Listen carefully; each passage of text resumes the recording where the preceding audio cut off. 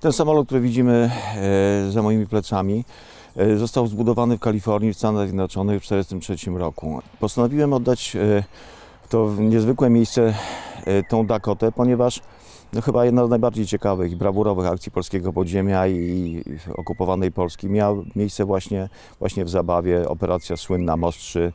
Tam wylądowała Dakota, zabrała części V2. Z Dakoty wysiedli kurierzy i cichociemne, w tym Jan Nowak-Jeziorański. Myślę, że to jest bardzo dobre miejsce dla eksponowania Dakoty. Właśnie zabawa i lądowisko Motyl, które jest upamiętnione. Myślę, że warto zrealizować taki pomysł, taki zamiar. To wydarzenie dzisiaj to jest zrealizowanie marzeń wielu tych, którzy już odeszli niestety i myśleli, że ta ich akcja z narażeniem własnego życia, życia rodzin będzie gdzieś zapomniana. Żyje jeszcze jeden uczestnik tej operacji. Dla niego to jest, z tego co z nim rozmawiałem, to jest ziszczenie się jego życiowego marzenia, że ta operacja będzie w ten sposób upamiętniona. Od samego początku wiedziałem, że z uwagi na wielkość, gabaryty tego samolotu, ja sam nie udźwignę ambitnego programu konserwatorskiego, dlatego proponowałem przekazanie, nieodpłatne oczywiście, y, do wielu placówek muzealnych. Najbardziej przed laty zainteresowane było Muzeum Armii Krajowej w Krakowie, no ale z jakichś nieznanych mi powodów zrezygnowano.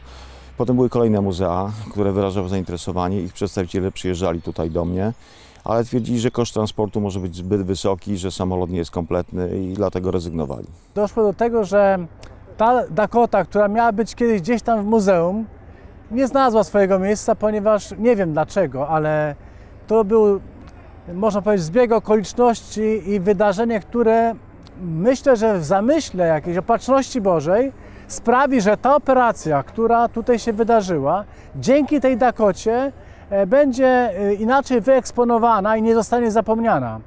Po prostu nie mogłem zachować się inaczej. Musiałem uratować ten samolot. Dakota była mi wcześniej już bardzo dobrze znana i nie wyobrażam sobie po prostu pozostawienia albo złomowania tego samolotu w Polsce. Tym bardziej, że no, warto to podkreślić, żadne muzeum w Polsce nie posiada Dakoty.